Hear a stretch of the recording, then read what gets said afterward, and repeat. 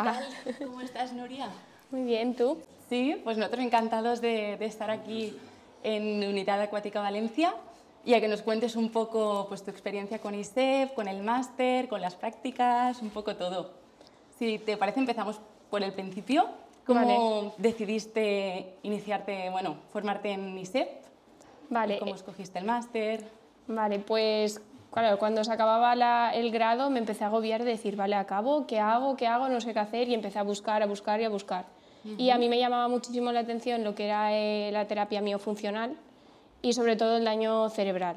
Entonces me puse a buscar y encontré que en este centro ofertaban los dos. Entonces ellos se pusieron en contacto conmigo y a raíz de ahí con el chico que me, pues me gestionó todos los papeles y todo, pues me fue informando que había la doble titulación, que no sé qué, y pues poquito a poco fuimos pues ajustando y al final eh, decidí hacer el de terapia miofuncional y el de daño neurológico, que no he podido cursar este año porque no se podía, pero lo cursaré el año que viene y a cambio estoy haciendo el de neurorehabilitación. Wow, tres másters. O sea, tú eres de formación logopeda. Sí. Vale, vale, genial. Y entonces, a, la- a nivel de prácticas, cuando empezaste, bueno, ¿cómo, ¿cómo fue la elección? ¿Si te costó, no te costó? No, porque tenía bastante claro aquí en Valencia el centro que quería, Vale. que se pudo hacer, que fue el de Rosana Boronat y genial. Y después en el del máster de neuro sí que tuve un poquito más de problema para encontrar plaza, porque claro, yo al no ser de aquí tenía que implicar, o sea, si empezaba clases muy tarde, implicaba pagar mucho más un piso. Entonces fui yo buscándome un poco las cosas y encontré un sitio en mi pueblo donde me ofertaban hacer las prácticas, donde había parálisis cerebral y bastantes patologías que, se, que concordaban muy bien con, con el máster. Entonces eh, le trasladé la información a ISEP, fue ISEP quien se, se puso en contacto con el centro y desde ahí pues que mm, hicieron el convenio y todo y ahora estoy haciendo ahí prácticas porque en Rosana ya acabé. Eh, me ofrecieron trabajo pero no se me compaginaba bien con el otro máster y ahora estoy en mi pueblo haciendo las prácticas y trabajando a la vez con un contrato y ahora en cuanto acabe prácticas se supone que ya paso a ser logopeda de ahí oficial. ¿Y dónde estás trabajando actualmente? En el Centro de Logopedia y Psicología de Natalia, en Vinaroz. Vale. O sea, estás en, en el ámbito de logopeda Sí, sí, logopeda. clínica, Sí. digamos. Vale. ¿Y qué tal? ¿Te sientes preparada? ¿Es tu primera experiencia laboral? ¿Cómo, cómo ha sido? Como logopeda sí que es mi primera experiencia laboral y a ver, es un poco... Tengo como mucha presión de decir, jolín, lo estaré haciendo bien, lo estaré haciendo mal, porque al final es la vida en algunos casos de la persona a la que está ahí, depende de lo que tenga, si viene con disfagia o lo que sea, y es como, jolín, y si hago algo y le perjudico. Pero bueno, como la jefa y el equipo que están detrás me ayudan un montón, tengo muchísima ayuda y, y muchísimo apoyo. Vale.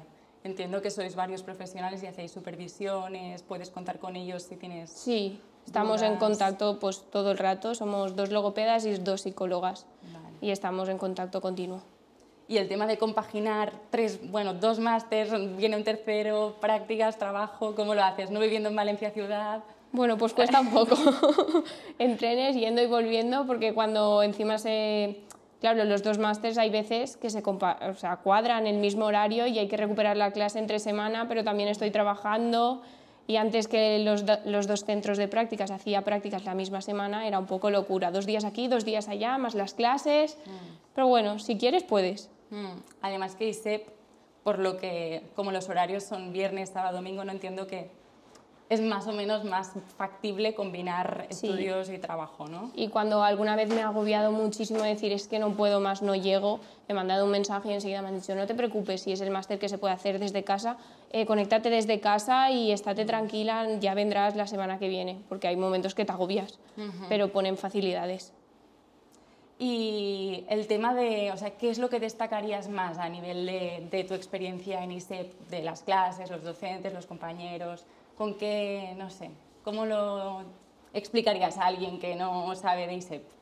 A ver, es que te dan muchísima teoría, pero a la vez es teoría muy práctica. Te explican, pues, esta patología no sé qué, pero ya te explican cómo intervenir, las características más clínicas que te, no sé, que te ayudan mogollón a, a diferenciarlo, a intervenir, a ponerte en ello, las cosas, no sé, esenciales que necesitas saber. Te ayudan mucho la información que te dan para después cuando te pones en tu práctica diaria decir, ah, vale, pues esto puede ser esto, pero claro, también puede ser eso, e ir poquito a poco llegando al diagnóstico mejor. Claro, toda esta parte práctica, ¿no? Como hoy que estamos aquí, bueno, no sé si tú sabes un poco más que nosotros, pero aquí con la piscina, no sé si has hecho alguna práctica en piscina hasta el momento. Tenía del otro máster, pero se me solapó y no pude acudir, así que es mi primera vez también, mi idea. ¿Y sabes a qué vienes hoy o, poco sabes? Poco, no, no, no, poquito. Ya os veremos después en, en acción, pero muy interesante. Y mm, no sé, y así a nivel mm, resumen, si tuvieras que, recomendar a alguien ISEP o si tuvieras que mm, resumir tu experiencia en ISEP, ¿qué, dirías?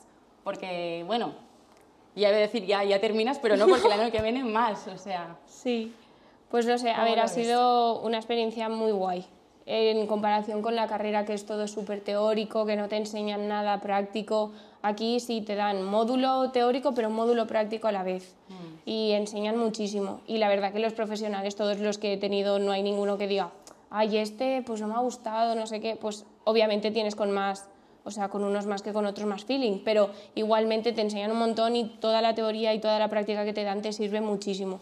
Yo no me había dado cuenta hasta que realmente me he puesto en la práctica diaria pero una vez te pones, recurres muchísimo a los apuntes y a todo lo que tienes y te vale mucho. Claro, más viniendo del grado, ¿no? que es prácticamente todo teórico. Todo.